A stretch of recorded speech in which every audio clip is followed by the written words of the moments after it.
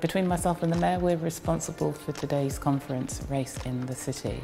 In 2018, the Mayor agreed to the establishment of the Mayoral Commission on Race Equality and uh, with CORE, as they are uh, known and the Strategic Race Equality Leaders Group, we agreed that it was time to have a conference to talk to the city and other partners across the country about the good, the bad and the ugly when it comes to race inequality here in this city. Well today this is about bringing some of the leading uh, voices, leading thinkers on race and, and equality and inclusion to Bristol to set out the challenge facing not just Bristol actually but the country um, and the world and but it's also to set out uh, you know, how we're going to go about redressing those, uh, those inequalities. This is a special time to be here. The challenges of those persistent inequalities that lock young black children out of education, of jobs, of fulfilling their opportunities can be tackled in forums like this where you have a black leadership, the mayor, the deputy mayor, the police service and others coming together to say this is all our challenge and when we embrace it with data and action, great things can happen. You know, outside it's packed. Uh, standing room only. People from around the city and around the country. I too see myself as an activist, uh, not a bureaucrat, and that's why I'm not going to talk about more fine words. Of course, I am going to promise to do more, and I'm going to promise to do better, and I stand in front of you acknowledging, from someone who's taken a lot of advice and done a bit of reading, that racism, as I see it in the United Kingdom, is a white problem. I get that. That's for me to do something about. Um, but actually, I'm going to humbly stand in front of you today and ask for some help. And I, I hope you don't mind me doing that.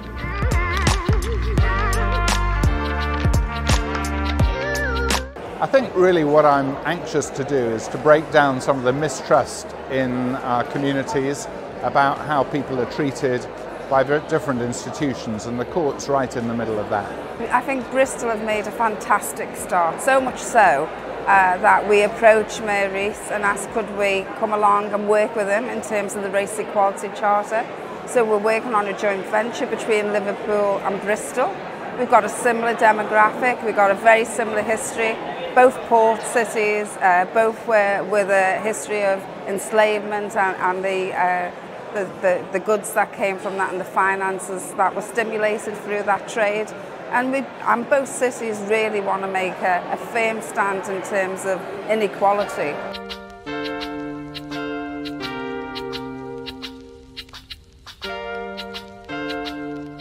I think today has been great, just in terms of being able to be in a room with like powerful, influential people that have paved the way for me and the future generation to be able to tackle these sort of situations. I think it's really inspiring. It's just really great to know that it's being discussed and to know that like people are talking about race and that it's at the forefront of people's minds because obviously when it's at the forefront of my mind. So yeah. And I think it's just, um, yeah, it's really inspiring, really great to be here. Yeah. Well, today has been so amazing. So I've had the privilege to um, volunteer. We've had speakers from all over the country come in and tell us about, you know, race statistics and how you know government bodies are really um, making changes in this sort of like sphere.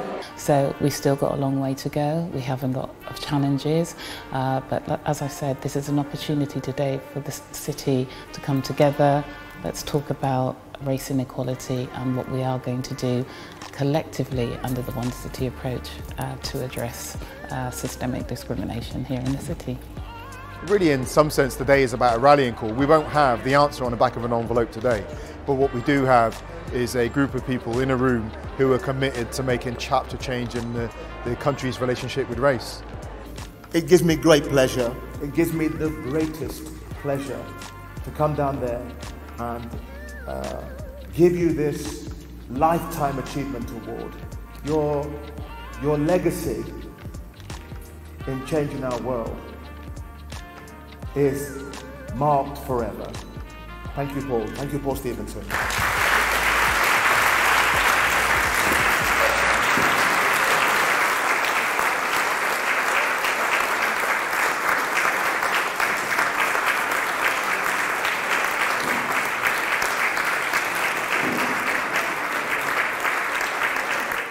It's been incredible to see everyone unite as one and I'm left feeling inspired and empowered.